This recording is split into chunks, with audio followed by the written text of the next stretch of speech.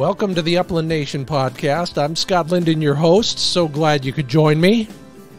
Yeah, we'll talk bird dogs, we'll talk bird hunting, we'll talk horses and how they help us become better bird hunters, practically and philosophically. That's the main topic for today. We'll be talking with Jeff Gillaspie from Tinker Kennels, and uh, his operation is called Tinker Kennels and Rocking Horses Hunt Club.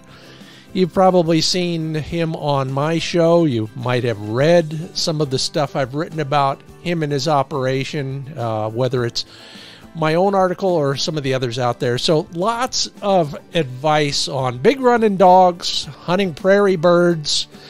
It's all a part of the outdoor lifestyle here at the Upland Nation podcast. I'll also have some unsung public access providers that you might want to take a look at the next time you're, you know, trying to find something a little bit further off the beaten path. So, you know, if you love bird dogs and bird hunting and maybe horses, then you're in the right place. Thank you for joining me. Uh, a few comments from you as well. We'll get to those in just a moment. Uh, but first, how was how's your week going? How was your weekend? You know, I've been talking to you a lot on Facebook asking a lot of questions about various things uh, from happy hour celebrations to uh, your training goals. Uh, over here, it's all about being steady on the fall of the bird. We're still working on that. It's a work in progress. Flick is doing pretty good. Fascinating situation yesterday. You know, I'm, I'm putting, you know what I'm using? Decoy weights, you know, duck decoy weights. Hobbling a bird with a weight on that bird, flying them out of the launchers so that Flick can see that bird fly 20, 50, 60 yards, land in the grass, or in our case, in the sagebrush most of the time, and stay steady. Well, yesterday, oh my, yesterday, that first pigeon, and it ended up being the last pigeon as well, uh, he went about 75 yards crashed into the limb of a ponderosa pine. The moment he crashed into it, I thought, oh, great, he's going to get hung up there. I'll never get him back. No, a Cooper's hawk knocked him off the limb. And so I steadied Flick, dashed all the way over there, checking back in once in a while, make sure he's still on a point. Got to the hawk, got to the bird. The hawk flew off. The bird was unscathed picked him up, brought him back, left a dead chukar there because that's the whole point of this uh, scenario is the dog gets bird in his mouth when he does a good job. That all worked great. Flick ran out, got the retrieve completed.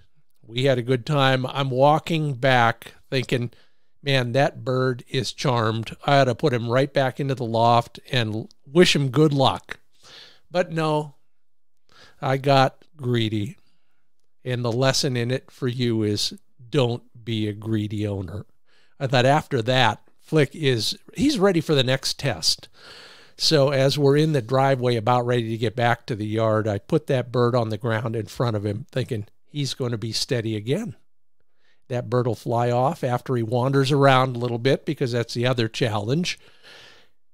But no, crashed in, got the bird, there goes all the learning for the day. Well, not really. We went back and and did some more, and uh, hopefully our two steps forward only resulted in one step backwards. Can you relate? Been there, done that. It's like going up a chukar hill. You know, you're sliding and scraping your way up, and every time you take a step, your foot hits the scree slope and it slides back another eight inches. Well, that's what dog training is all about, at least around here, maybe for you too. So good luck. As Ronnie Smith advises me periodically, don't get mad, don't get frustrated, just work with the dog. Speaking of working with the dogs, on Facebook, I'm asking some questions, and uh, one of the ones I'm asked quite often myself, and I thought I'd ask you all, was Hey, what do you use for rewards when your dog does a good job, whether it's a long retrieve or steady to wing shot and fall, or just coming to you when he's called? got lots of great suggestions from food and water, of course, some of the things we use in the desert a lot. Uh, Jack Gable had a great one. He said, Many don't like this idea, but cutting something off the bird the dog just brought you and feeding it to him on the spot is pretty direct. Now, he says some will argue it'll turn your dog into a hard mouth, but he doesn't think it's true, and neither do a whole bunch of others. In fact, many of the trainers that I've been watching a lot of these days, and you know, back in the old days, quail heads became a pretty regular part of every hunting trip treat for a dog. So, you know, it's, you know, the stuff that used to work probably still works pretty well. I'm not going to argue that one, Jack. Thanks a lot for bringing it back to our attention. And then I asked about FaceTime, you know, in the broadest sense of the term, you know, uh, when wolf puppies uh, greet their dam as she's coming back after a hunt, the first thing they do is they get right up in her face. In that case, it's because they want some of whatever she ate so that they can eat it. You know how that works. Well, Matt Templeton says, you'd think twice about giving your dog that kind of up close FaceTime. If you saw what my dog eats, and yeah, he's absolutely right. Don't forget to wash your hands and your face every time after after that happens. Thanks a lot to everybody who contributes to those discussions on Facebook. Yeah, the Wing Shooting USA page and the Upland Nation page, we're active on both all the time. We being you and me and everybody else in our fraternity. All right, we've got Jeff Gillaspie of Tinker Kennels and Rocking Horses Hunt Club coming right up. Just a couple brief messages. First from sageandbraker.com, gun care products crafted at the highest caliber. If you're hoping for a great Father's Day gift, you better head on over there. They've got one called the Father's Day Bundle. Now, it's a big one. It has everything you'll need to clean any shotgun anytime, anywhere. In fact, that's part of the joy of it. It's portable, it's self contained. All sorts of other great gifts for you. It's all at sageandbraker.com. Send the link to your significant other. Maybe that person can get you something for Father's Day at sageandbraker.com. And welcome to my friends at Huron, South Dakota, the Ringneck Nation. More pheasants than people. 140,000 or so acres of public access.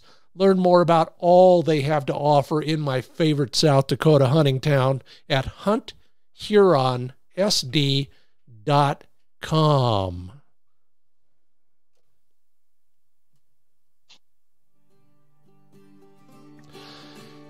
Yeah, I promised a good time.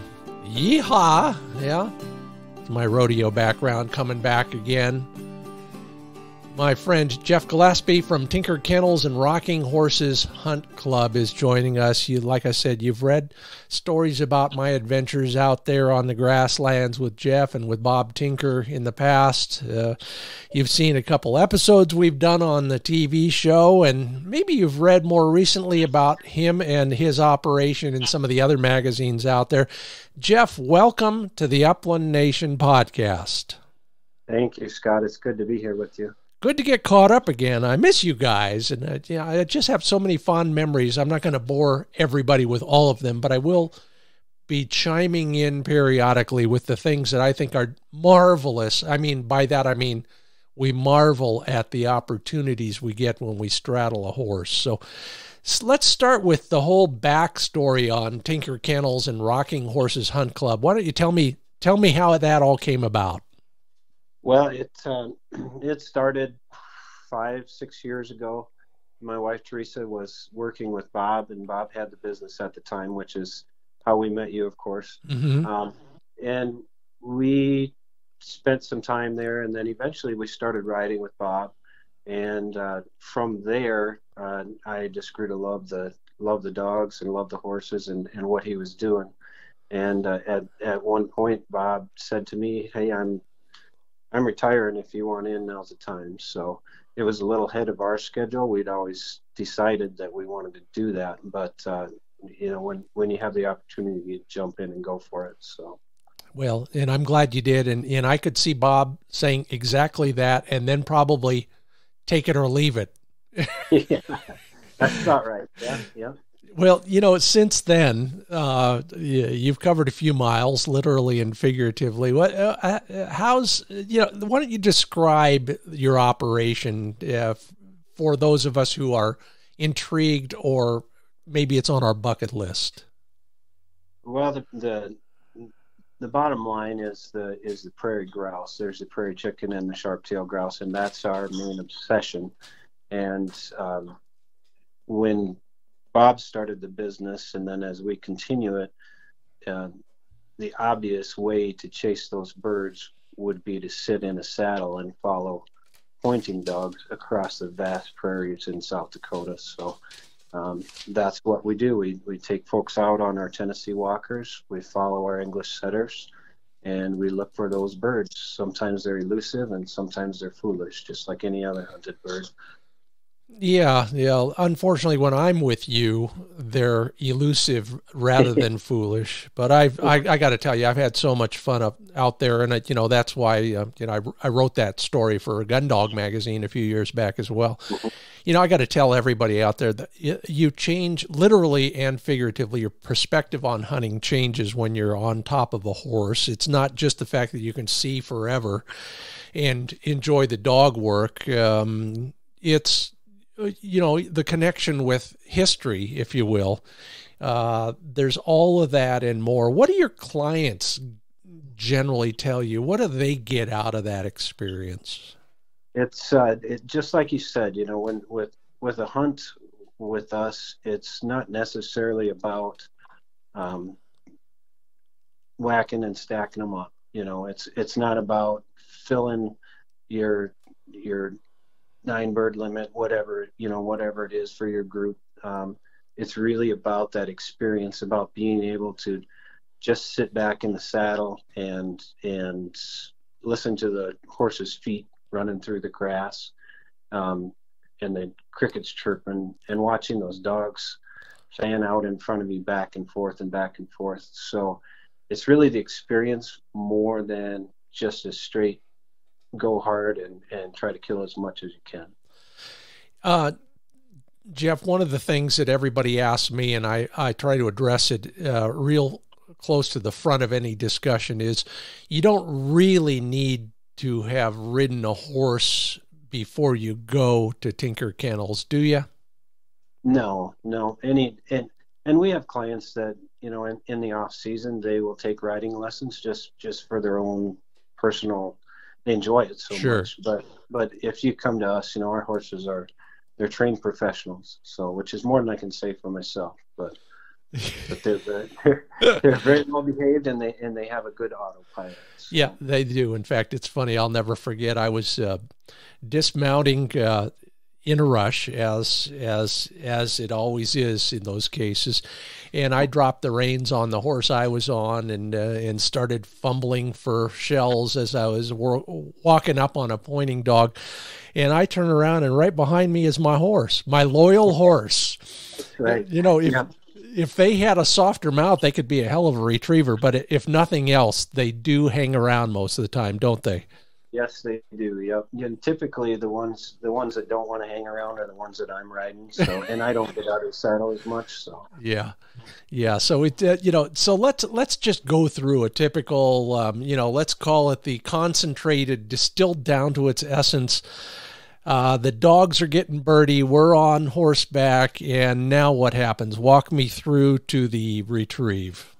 Sure. Yeah. So we're uh, like like you said, we're on horseback. We're watching those dogs. They're anywhere from two to four hundred yards out, and uh, if they hit a point, this is this is where the horseback thing comes in handy. If they're four hundred yards out and they go on point, it's nice to be able to get there quick. And uh, with those walkers, they're nice and smooth getting up there. You can cover that ground quick. You get up there and at a certain point, so you don't spook those birds, you know, you hop out of the saddle, grab your gun, and go.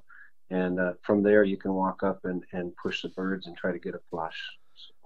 Um, and just because this is the right time to mention it, no, you do not shoot while a horseback. Uh, these the the horses are bomb proof. They they're used to gunfire, but you're climbing off and you're walking away from those horses. So yeah. That happens, then poof, woohoo, we get a retrieve out of that thing, and uh, and everybody's ready to go. And here's here's the place where everybody gets a little nervous.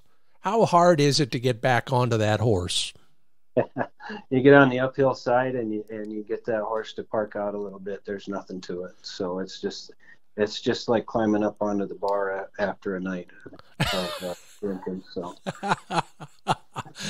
yeah, it does help to you know if you've done some goblet squats or you're you're doing some uh, you know leg presses or something. It does help a little bit about the twenty fifth time you're remounting, but but like you said, and and and you like Tennessee walkers.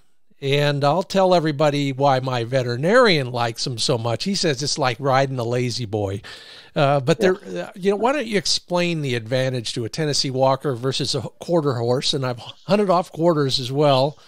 I've even hunted off mules, and well, we won't debate that one. But anyway.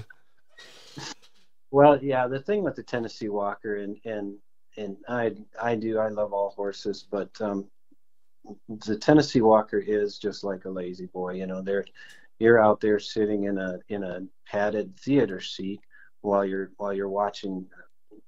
As far as I'm concerned, the greatest show in the world with those dogs. They're smooth. Um, they have a pretty gait, and they have a great personality. And at the end of the day, you can look back and you can say, well, we we covered 15, 20 miles. I don't really notice it you know, and and and at at the end of a three day hunt, you're going to be stiff in places that you typically aren't stiff. But uh, that's just from the just from the way you're sitting in in the saddle, you know. And, and if you did it for more than three days, you'd be good to go. So. Yeah, you do actually condition yourself over the course of time like that. But is there yeah. anything? I mean, if somebody was really gung ho about this and they, they really wanted to, you know, to, to prepare in, in one way or another physically for a horseback hunt, um, what would you tell them to do? I would say that the first and foremost that it would be to condition yourself just as if you were going to go hunting without being on a horseback, mm-hmm. and, and then from there, if you, if you have an opportunity to get in a saddle and do it most certainly because the, the more comfortable you are around horses uh, the better. You know you can you can enjoy what else is going on rather than rather than trying to outthink yourself while you're sitting in the saddle. Yeah, it does help to, you know, uh, and I, have admired some people, uh, both hunting for fun and hunting for the TV show that they're just so familiar with their shotgun they don't even look at the dang thing. They just know where everything is. It's you know and and the same is uh, true of a horse uh, whether it's knowing how to get on and get off um, knowing where your scabbard is. By the way of course your your your shotgun is in a scabbard and it's unloaded the whole time until you pull it out and you're walking up on a pointing dog. Um, all of those things help. What what are the things that uh, that people ask you about most when it comes to horses? You know, uh, I think it's pretty. I hate to say it's common knowledge because as soon as I say that, then somebody's going to say, "Well, I didn't know that." But you know, basic um, safety around horses and riding horses. You know, if those horses are prey animals and and you have to be aware that their instincts are going to be to flee. And so you, you want to try to make sure that you're you're not putting them in a position where they want to flee. Now like i say you know our horses are they're bomb proof they really are. And um, but walking around a horse talking to them softly instead of being intense um, just making buddies with them. I think most of the people that come out with us are they either request a certain horse when they come back or they make buddies if they're out for the first time and, and that's part of the part of the adventure too you know, when we used to have horses literally outside the back door at our place, um, I, I, always felt there was a zen around them. I'd go out there, you know, I had to do all the chores. I never got any of the glory, but you know, I was the, I was the hay processing manager. I I forked it in and then I shoveled it out. Um, but being around horses, um, out of out of practicality and everything else, you figure out early on that you need to dial everything down a little bit. Like you said, they're prey animals, and so so being a little bit more calm, a little bit more mm-hmm. quiet, moving a little slower, and just being more mellow in general, not only is good for your soul. The right. horses are way happier when you're at about fifty percent on the energy scale, aren't they? I agree. Yeah, I agree 100%. And and in addition to that, once you hit that stride with your 50%, those horses can help enhance that too. You know, if you're relaxed, the horse is going to be relaxed, and that's going to in turn make you more relaxed. And pretty soon you're you're not realizing that you are out in the middle of nowhere, just cruising around on a horse. Yeah, it's it is a you know a, we have a special bond, bird hunters and bird dogs. Working with our dogs is uh, there's nothing. It's unrivaled, right. but add a horse to the mix, and uh, and there's another bond in there, and it, it it it is pretty cool. And you know the only advice I would add to that is. Um, learn which side of the which which end of the horse to uh, swing wide of even the right. even the mellowest horse when startled uh, will react with a kick. Yep. If you wake them up from a nap, cruising around the end of the trailer after lunch or something, you know, you, you might be in for a surprise. So. Yeah, that's for sure. So, and remember that. Hey, I bet you didn't know that. Somebody out there, yeah, they sleep standing up most of the time. Not all the right. time, but most of the time. Um, so describe a hunt for us, Jeff. Uh, and by the way, you're listening to the Upland Nation podcast. That's Jeff Gillaspie with Tinker Kennels and Rocking Horses Hunt Club. I'm Scott Linden, the host. So tell us how that hunt works, Jeff. So this it plays out. I will uh, typically pick up our, our group of hunters. Um, we take a maximum of four people out at a time. So it's not a big group. Usually it's uh, you know, it's it's buddies or or family, whatnot. Pick folks up in the morning, uh, right around eight o'clock. Usually, we head to our uh, hunting grounds. We have different areas. Most of them are within an hour drive. Once we get out there, then then we start prepping. You know, uh, the basic groundwork. You know, tighten up saddles, make sure stirrups are right, put scabbards on and then we then we loose a couple dogs and we and hit the field. Our braces are anywhere from, depending on the weather, anywhere from you know one hour to two hours, and we usually do three or four braces a day. Again, depending on the weather, we take breaks in between each brace. We switch dogs out. We have snacks, drinks, and then we stop for lunch at noon. We we grill uh, burgers or brats or or ham and cheese, you know, whatever. We have a hot lunch, and then uh, same thing in the afternoon. Little break for lunch. Head out again in the afternoon. Uh, usually we stay on one property for the day. There's more than enough acres. We could never cover the entire ground that, that these ranches have, and uh, then we then we head back home after that it is an ocean of grass out there, and it's not the only thing out there. But why don't you describe the lay of the land for us, Jeff? I am uh, intrigued with this, and if I ever move, look out because I may become a neighbor. sounds good.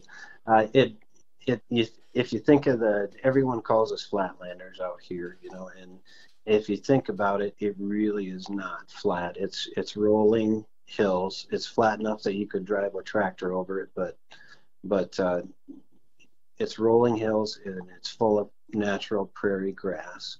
And then uh, it's spotted with uh, ag ground. And so we, we take advantage of that just like the birds do. And, you know, depending on the year and the amount of rain that we get, the grass can be anywhere from six inches high to uh, knee high. And it's absolutely perfect habitat for these prairie birds and and we're talking sharp tails and prairie chickens for the most part. Although once in a while we'll bump up a pheasant here and there, won't we?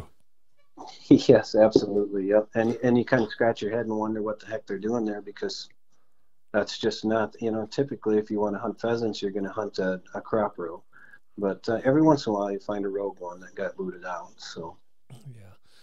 What is the ratio of uh, prairie chickens to sharp tails on a typical hunt? It is, let's see, two years ago, we were actually harvesting more prairie chickens than we were sharp tails.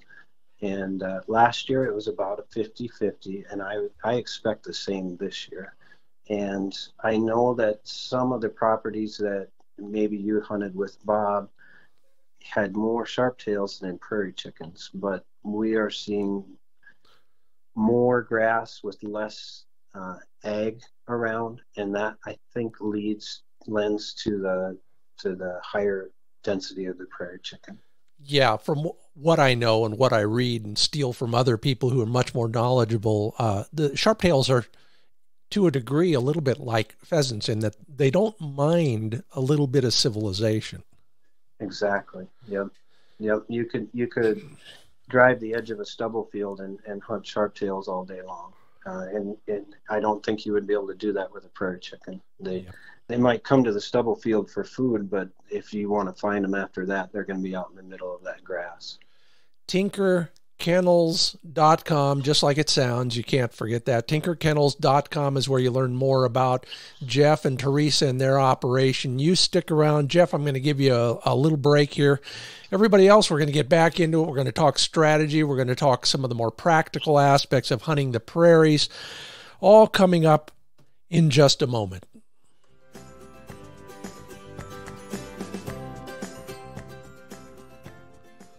Meanwhile, it's flea season.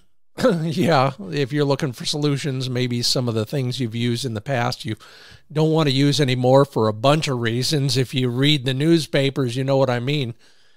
Check out the solutions at happyjackinc.com. My friends Manny and Joe Exum over there have got all sorts of uh, solutions, literally and figuratively, from shampoos and uh, powders to DD33, my favorite. That'll keep them off and the ticks as well. You just spray it on. It doesn't last real long, so you can uh, expect it to work all day but not stick around after that. Also, some great solutions for skin and coat issues. It's all at happyjackinc.com. And welcome to our newest sponsor, RuffLand Performance Kennels. You've seen me using them with, uh, well, virtually all my dogs on television over the years. My hunting buddy Doug Sangle is producing multiple colors, all sorts of accessories. Welcome to ruffland.com. That's where you learn more about their energy dissipation technology inspired by race car technology. Learn more at ruffland.com dot com.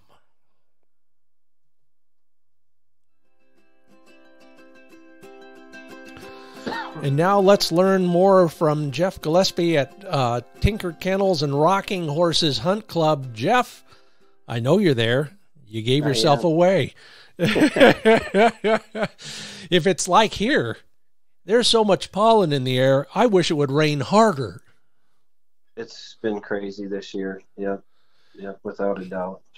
What do you? I mean, this time of year, everybody is just they're chomping at the bit to use a horse analogy to to get out and do something. But this is, you know, this is you don't just sit back and wait for people to call you and book hunts. You you've got to do all sorts of other things this time of year, don't you? This this time of year is project time of year. In addition to that, it's also horse and dog training time of year, of course. So it uh, Teresa and I both stayed far too busy than, than we should. But it's it's enjoyable work, so it's really not work. You got how many dogs in this string this this time of year? Right now we have 16 dogs in our kennel, and um, they're all they're all happy in the air conditioning at the moment. So. Oh, I bet. I bet. You know, there there are things that you learn managing 16 dogs that that probably would be very helpful to those of us managing one or two or four dogs. Can you think of anything right off that you do that maybe we should do that we don't? Well, the biggest thing, and it's obviously it's a lot more noticeable for us with 16 dogs. The biggest thing for us is keeping things clean. you know, cleaning up the messes and and on a daily basis because if if you let it slide, you're just going to spend way too much time catching up. And so that's that's probably with 16 dogs in it, and it, it applies to having one or two dogs as well. You know, just make sure everything's cleaned up. It, it makes the place smell better, especially. So. Oh, uh, yeah. If you've ever been in an indoor kennel that hasn't been cleaned up yet that day, you know what he's talking about, everybody.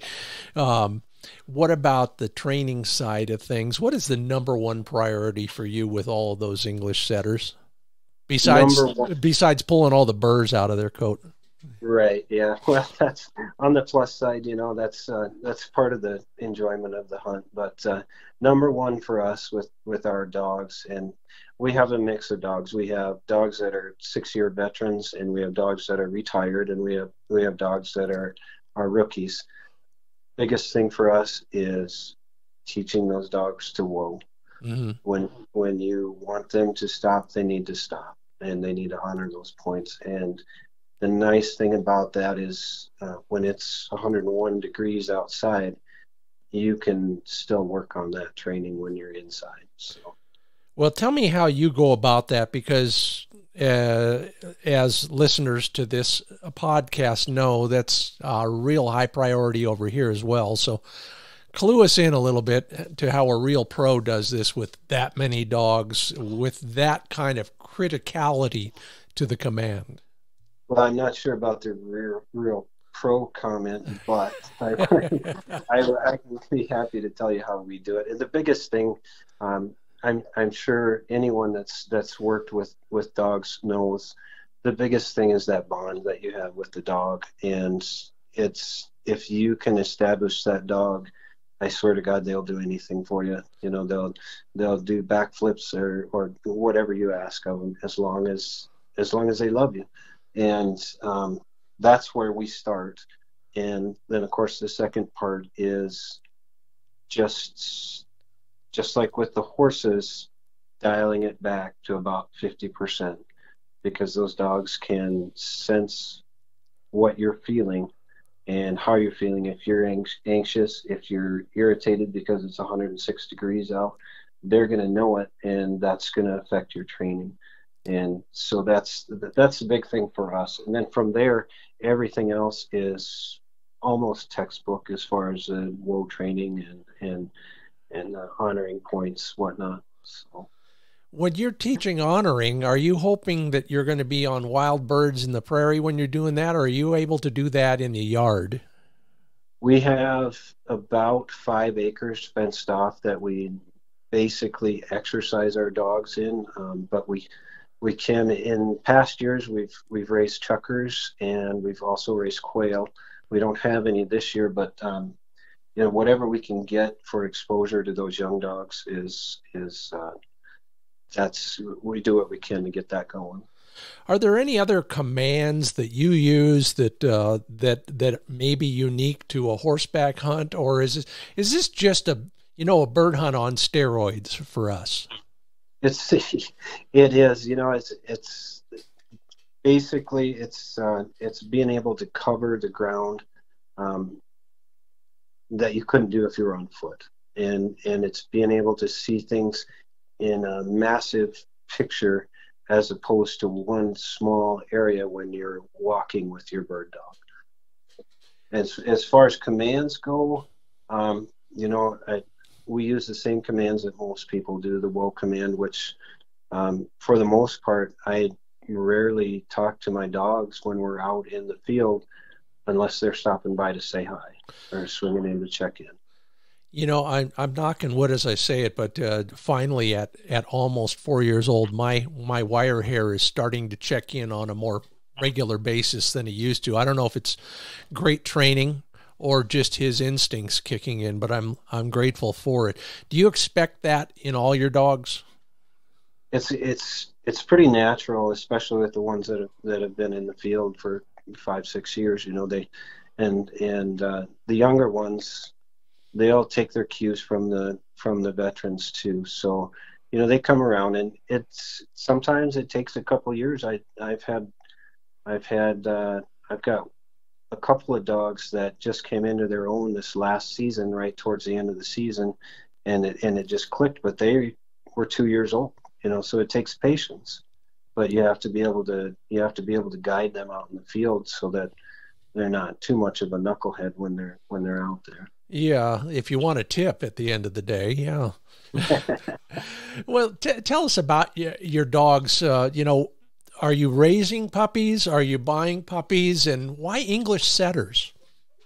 Well, uh, I'll hit that first with the English setters. It's it's strictly about the aesthetics um, because there are so many different breeds of dogs that perform outstanding when they're in the field, and so I would never say to you, well, my English setters have better noses, my English setters have uh, run faster, any of that. That's not how it is. It's it's just the sheer beauty of them cutting through that tall prairie grass and watching those feather tails um, and and wincing as they run through the briars next to the stock dams. But that's that's that's why it's English setters for us. So yeah, and for probably everybody else who has them as well. And I don't blame you one bit. And you know, not only the Briars, but I, I think the last time we were together, we were busting through some pretty tall uh, briars around a stock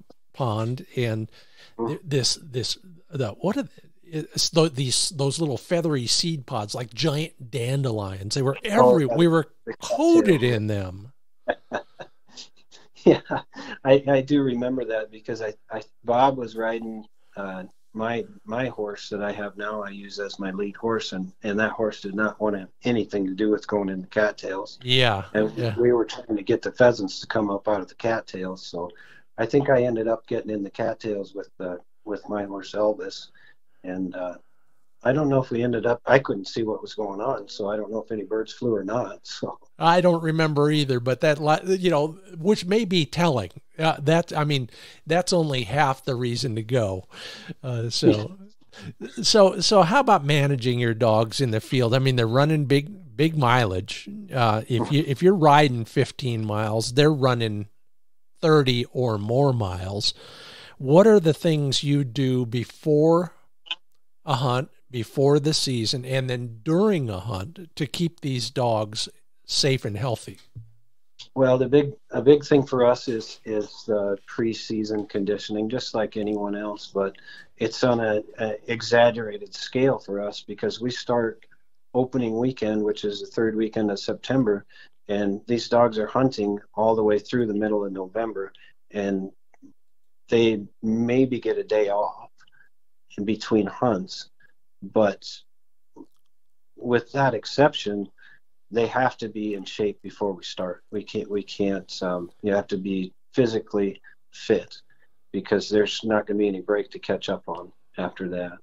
Um, so, are you able to do that on a you know on a on a uh, uh, a high mileage basis, or do you do that with short sprints, or where are you going for that kind of work? So what we do is we we start this this time of year. We've been doing it now for a couple of weeks.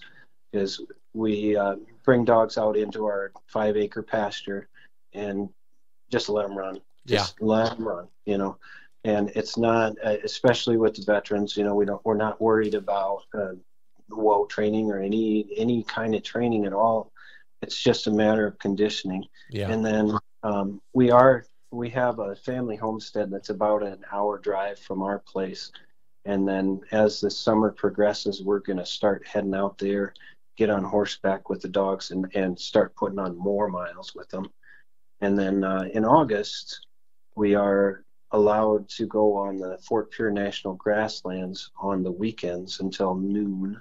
And we can actually just operate like we're doing a hunt without the guns. Nice. And so that that helps us increase the miles as we go, but we work into it slowly so the dogs aren't uh, out of out of shape by the time we start the season.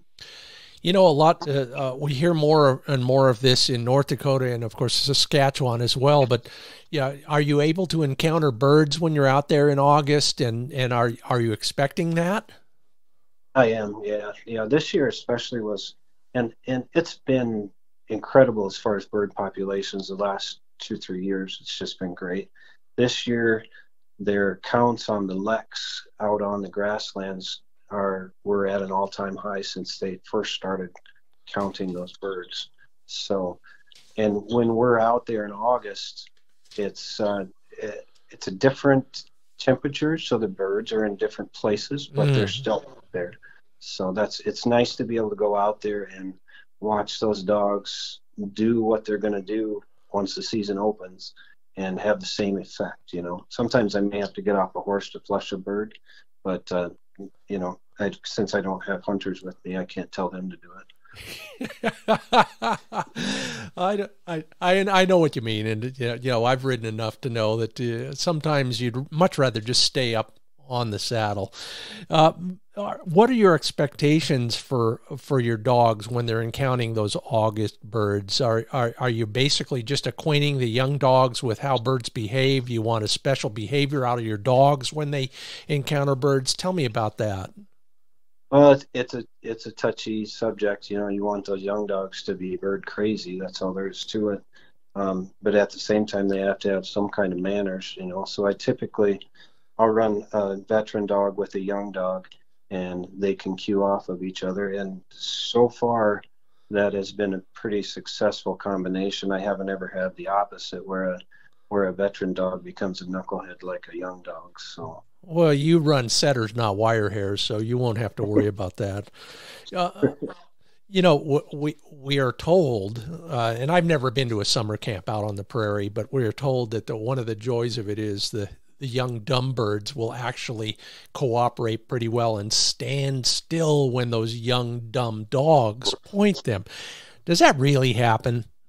It does, and it actually um, last year and the year before there was so many young birds that there was times when a dog would refuse to go off a point and we just knew for sure there was nothing there and you about would have to to just give that bird a boot you know yeah yeah don't get me wrong that would be great if that happened all the time but not all the birds very few of them actually are are that foolish so well, um, you're listening to the Upland Nation podcast. I'm Scott Linden, the host. That's Jeff Gillaspie with Tinker Kennels and Rocking Horses Hunt Club. We'll get to that in a couple minutes, but first, before I forget, because I always lose my train of thought. In fact, I already did. Give us a strategy for for sharp tails in particular. I I still treat prairie chickens as kind of a bonus, and maybe I shouldn't, but most of us are going to most of the time run into sharp tails more often. So whether we're on a horse or we're not, we're walking the prairies and our dog, uh, our our dogs are working hard for us. Can you direct us to likely spots and and what we should do once a dog does hit a point? Well, it's you know it's you have to you have to follow the dog first and foremost, which I'm guilty of not doing. Sometimes I pretend that I know more than the dogs, and I and I really I, that's just foolish, you know, mm-hmm. especially when it comes to birds. But you have to follow the dogs. And as far as uh, location of the birds, it depends on the time of day. It depends on the moisture content. If it's rained, if it hasn't rained, if it's cool, if it's hot. There's so many things, you know. In in the morning, the birds are going to be higher up on these hills because they're trying to catch some sunshine and warm up and maybe grab a grasshopper or two. Uh, as the day warms up, if it gets up to 75 degrees, those birds are going to head for some some cooler um, areas down lower and into the valleys and whatnot. So. Do you ever find uh, sharp tails in, in some of those thickets out there? And, and I don't remember what we call that that bush that's out there a lot, but do they hang out in there? They they they do if there isn't other options, and mm-hmm. typically that that buckbrush is what I call it. It's it's um, usually that's a good spot for them after a snow because it gives them a little shelter and there is some some berries that they can eat off of that stuff too. Mm-hmm. And so bad bad weather will put them in spots like that for sure. We, um, I, I, I'm thinking of some of the Montana hunts I've done that have been in just brutally hot weather, and we've found birds anywhere there was shade. I mean, literally mm-hmm. one tree on a prairie, they'd all be hanging out in the shade there. Do, do we need to think about that early in the season as well? Absolutely. It, you know, and the only downside of that out here on the prairie is there's there's not much shade. You know, you can you can go for miles and miles without trees, and and it does make a difference. Though you know, I've I see some of those. I follow a lot of people that are that are out in Montana with sharp tails, and I see some of the videos that they post, and and it would be nice to have specific things out on the landscape where you could say, let's go there. I know that's where the birds are going to be, as opposed to having 20 straight miles of grass with no trees. So, how about water? Do they go to water? I've never asked a biologist about sharp tails in water. Well, I'm not a biologist, but from what I've seen, a lot of what they get for their water comes from the dew yeah. in the morning mm-hmm. Mm-hmm. off of the grass. So, and they'll eat, you know, like you said, berries with fruit, and and the bugs have got a lot of moisture in them as well. So we don't see them like like chukars and and some quail species, you know, going to water every day, especially early in the season. Yep, exactly. So if I'm looking at a, if if I'm a horseback and you're next to me and we're uh, about ready to cut the dogs loose, uh, where are they going to head first and uh, and why?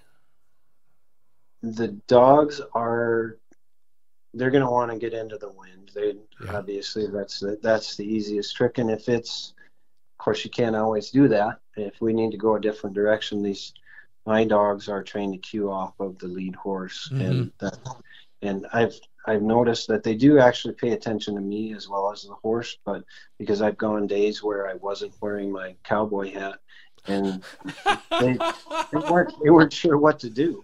They knew the horse, but they didn't know who was sitting on top of them. But uh, but they'll they they cue off a horse, and once we get off in the right direction, even if it's not into the wind, once once we get away from the trailer and we're going, then they're they're good. Do you um uh, do you do anything in the way of diet and hydration for these dogs that are putting in so many miles? I mean, what uh, what do you feed them, and why? We have a we we do a Purina Pro Plan Sport Dog. It's high fat, high calories, um, and protein. And then hydration wise, we do have a doggy Gatorade that some of the dogs like and some of them don't. They'd rather just have water. And of course, when we're in the field, I always have a couple of gallons of water on me with the, on the saddle as well. Yeah. So, yeah, so when they, they come check in, they they know they'll they'll come back when they're thirsty. They come to me and they'll hop up on the on my stirrup and I'll yeah. give them a drink and we'll be good to go. Yeah, I, I love it, and and and that is a wonderful way to do it. What is in your doggy Gatorade? Uh, unless it's a secret formula, and you'll have to kill me afterwards. No, I can't think of the name of it either. I, th- I think it's one that I saw on maybe on your website, as well as that uh, that energy bar that you. Yeah. That you so. Good, good. Well, thank you. um, do they um, do they get that same diet all year? Are you feeding the the, the high fat, high high uh, protein all year? We we yeah we do keep them on that, um, and obviously they don't have as much uh, energy burned in the off season. But we've been fortunate, and knock on wood, that our dogs are not excessive when they eat what they need to, and that's it. So yeah. nobody's getting extra weight in the wintertime except for me. well, it doesn't sound like your uh, your off season is any less active, and it may be even more active. So uh, I don't think so, Jeff. Uh, did I remind everybody if they want more information on what you're doing, they should go to tinkerkennels.com. Um, Jeff, whether we're on a horse or we're just walking around on the prairie out there. And by the way, yeah, you're nearby here, South Dakota, right smack dab, kind of on the river there. Um, but you're, you know, you're within, you know, you're in that time zone most of the time.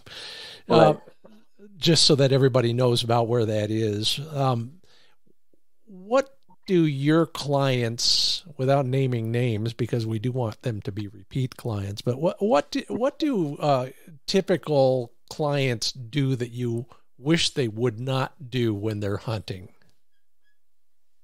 I th- I think a big thing um, for us, and it's not uh, a fault per se, but it's getting our hunters to hunt prairie birds instead of hunt quail or hunt pheasant preserve. Yeah. And trying trying to explain that it's an entirely different hunt uh, with these birds.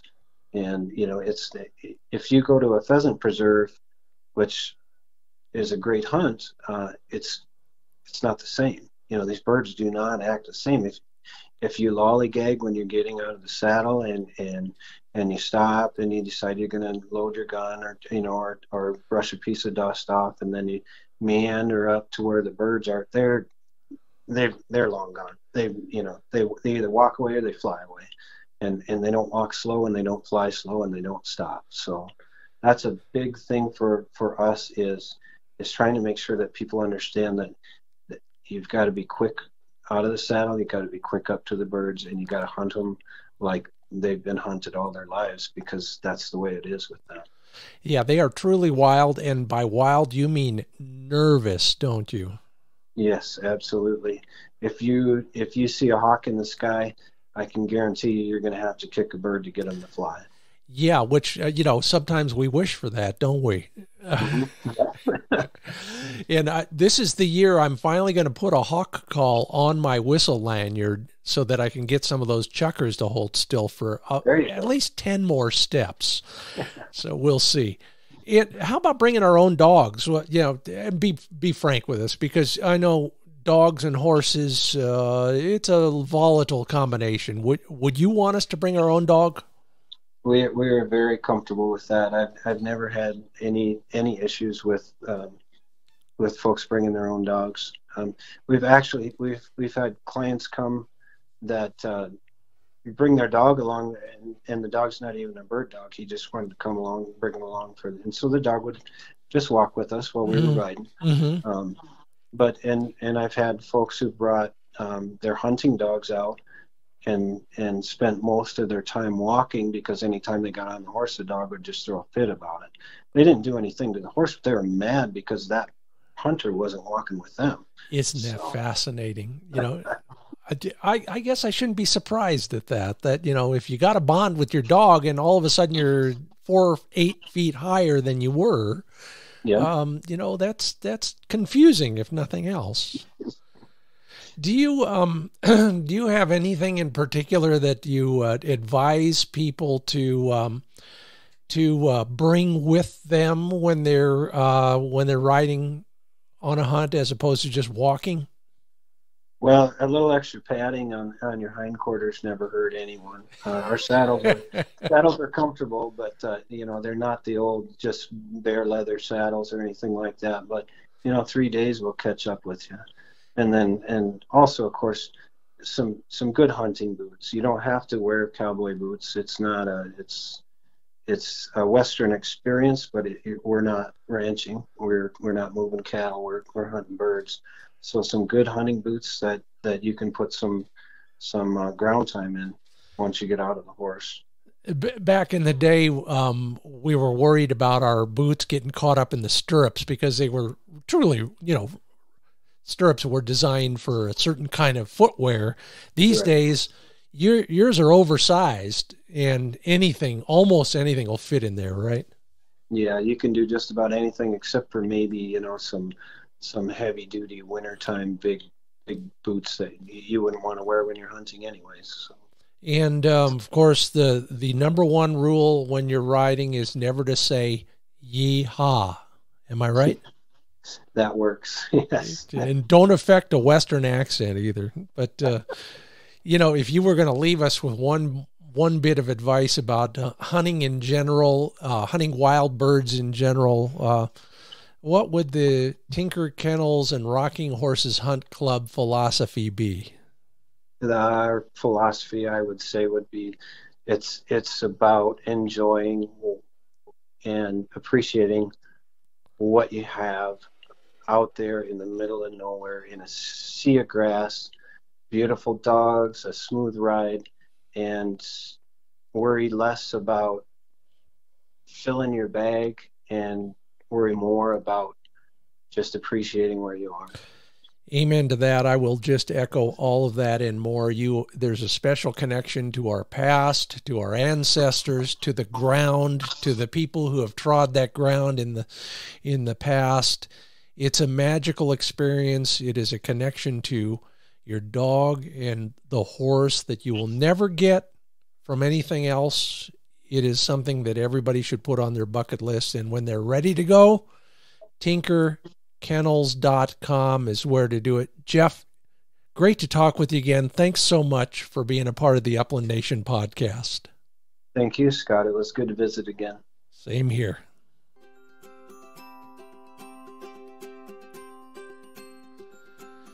I've got a public access tip for you, kind of more practical, coming up in just a moment. But first, speaking of dogs and getting dogs in shape, foods are well, I guess uh, it's a minefield out there when you talk about dog food, and uh, everybody has their own claims. But Dr. Tim Hunt is a veterinarian, he's a sled dog competitor, and luckily for us, he's developed some great dog foods for these performance oriented animals. If your dog is hunting a lot, what's important to that dog is fat, protein, at high levels and carbohydrates at low levels.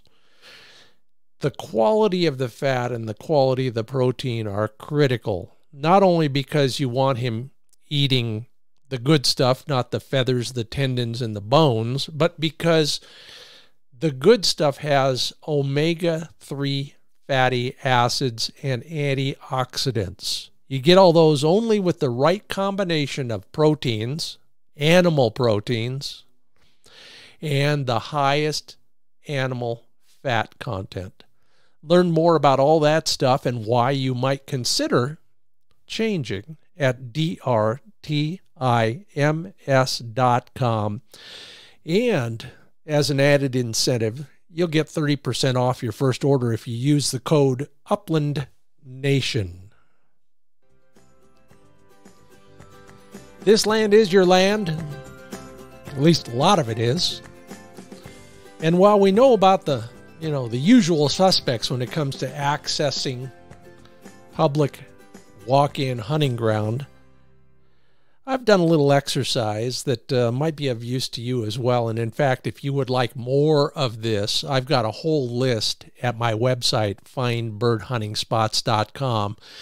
This will get you started on some of those less common public ground opportunities that you might want to look at. And, you know, just talking to Jeff about South Dakota, I'm reminded of one Bureau of Reclamation patch right there on the Missouri River that is certainly worth taking a look at. So, U.S. Bureau of Reclamation, the easy way to start is usbr.gov slash recreation. Find out which of their properties are available and open to hunting you know, usually they're around water of one sort or another. They manage a lot of dams, a lot of reservoirs, that sort of thing.